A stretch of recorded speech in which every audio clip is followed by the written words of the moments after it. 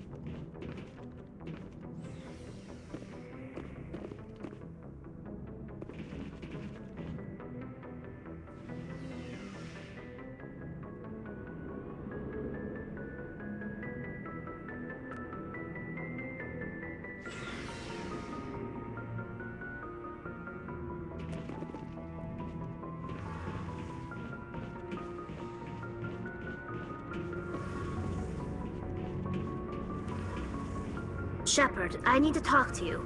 It's important. Is something wrong? You know the data you took from those Geth control nodes? The information you uploaded to Alliance Control? I want a copy of it.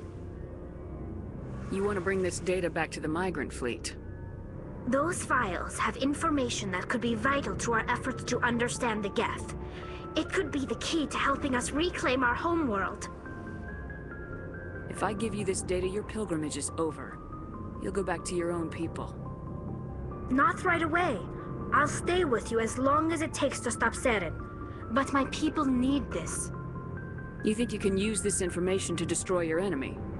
Not right away. We will need to study it. It could take years, but it will give us new insight into how the Geth have changed and evolved over the past centuries. Go ahead, make a copy. My people, I owe you a great debt. One I can never repay.